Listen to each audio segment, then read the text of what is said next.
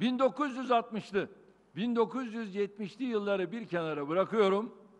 1980'li yıllarda dahi ülkemizde evinde telefon sahibi olmak çok büyük bir imtiyazdı.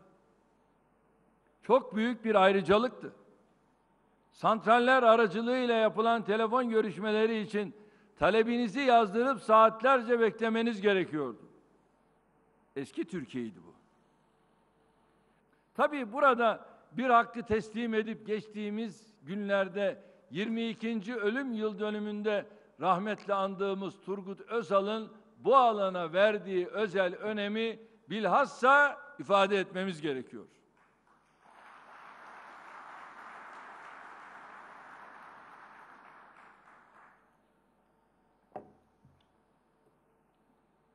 Telefonla iletişimin bir imtiyaz, bir istisna olmaktan çıkıp köylere kadar uzanan yaygın bir alışkanlık haline dönüşmesi Özal dönemiyle birlikte oldu.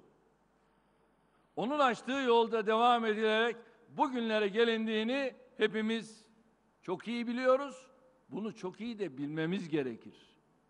Hakkı teslim etmemiz gerekir. Daha önce telefon sırasına yazılıp 10 yıl, 20 yıl bekleyenler vardı. Özal'ın bu konuyu ülkenin öncelikli meselelerinden biri olarak görüp ciddi bir yatırım süreci başlatmasıyla bu sancılı dönemi geride bıraktık. Şimdi gelirken şöyle arkadaşlardan doğrusu bir ayakta briefing aldık. Mesela şimdi 4G meselesi konuşuluyor. Ben de diyorum ki dünya şu anda 5G'yi konuşuyor. Biz 3G'deyiz. Dolayısıyla 4G ile bizim zaman kaybetmemize gerek yok.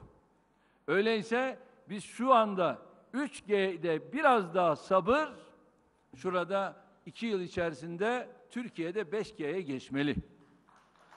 Biz buna bir defa adım atmalıyız. Aksi takdirde Türkiye adeta 4G ile bir çöplük haline döner. Biz bunu aşmamız lazım. 3G'de iyi bir noktadayız. Sabırlı olalım ve biz 5G'ye çalışalım. 3G'den 5G'ye atlayalım. Yapmamız gereken bu.